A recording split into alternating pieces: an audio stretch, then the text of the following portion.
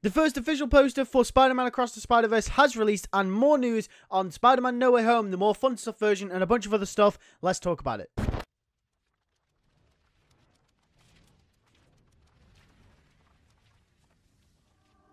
Yo, what is going on you guys? Welcome back to a brand new video. In today's video, we're going to be covering a range of topics in this shorter video because they're things that aren't really worth talking about on their own, but there's a few tidbits of information that have come out over the last day or so that I think are worth updating you guys on, so I'm going to go through them in this video, and then we're going to be breaking down the poster. So with that being said, if you are new around here and enjoy all types of Spider-Man content, make sure to hit that subscribe button and make sure to hit the bell so you can stay up to date with all types of news from the games, and movies, and the shows, fan fictions, all types of Spider-Man content, and I'd also greatly appreciate it. Also, if you want awesome No Way Home t-shirts and the Blu-rays, I'll leave a link in the description down below where you can get yours today. But with that being said, let's get straight into the news. So the re-release of Spider-Man No Way Home, which is Spider-Man No Way Home, the more fun stuff version, as it's actually going by, will officially feature 11 minutes of new footage. Now, this will be stuff with Daredevil, expect stuff with Andrew and Tobey as well. Essentially, it's just going to be extended cuts of some scenes, and I think there may be one or two scenes in there that were deleted as well. So don't expect crazy updates or crazy things to change in the movie,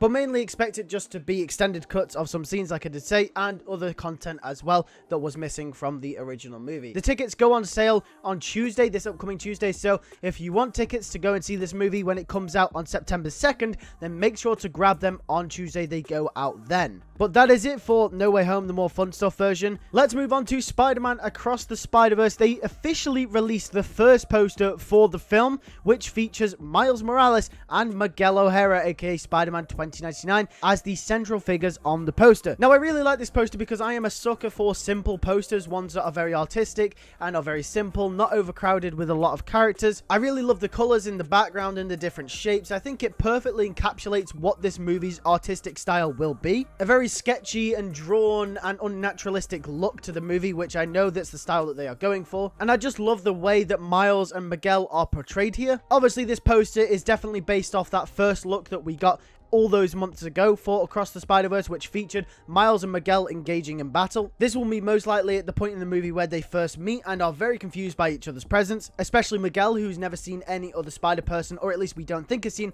any other Spider-Person in the multiverse up to this point, so he's probably wondering who Miles is, what his powers are, why he's Spider-Man just like him. What's also interesting is if you look at Miles' right hand on the poster, it looks like he's using his Venom Blast as well. And the colours all nicely fit in with the yellows, the whites, and the oranges as well. And I really just like this poster. It's simple, it gets the point across, and it's really nice. Apart from being a good representation of the film's artistic style, I don't think this poster jumps out at me as to giving us any kind of clue to what this film will actually be about. I think this is a very simplistic poster, and it's meant to be designed for that very reason. Ever so slowly and ever so surely, we're getting more leaks and more things revealed about this movie, and I'm really excited when we get a first official trailer for this film, and more posters and more merch and more stuff starts dropping. I can't wait to see Spider-Man 2099 finally in action and who they actually do end up bringing back for this Spider-Verse movie. And because it is a Spider-Verse movie, it really captures my interest because anyone can show up.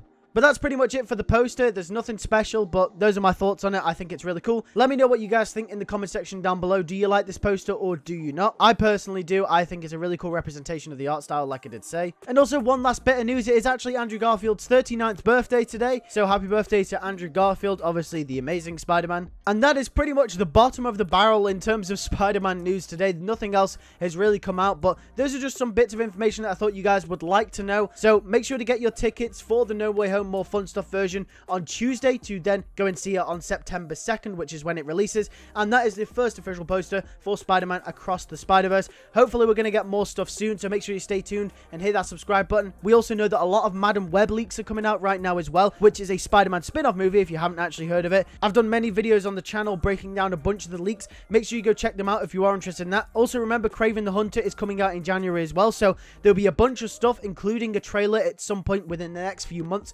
coming out for that film. So yeah, make sure you're subscribed so you can stay up to date with all types of Spider-Man stuff. Also, if you want awesome No Way Home t-shirts and the Blu-rays, like I said at the start of the video, make sure to click the links in the description down below. And with that being said, thank you guys for watching. I'll see you guys in the next one. Take care and peace.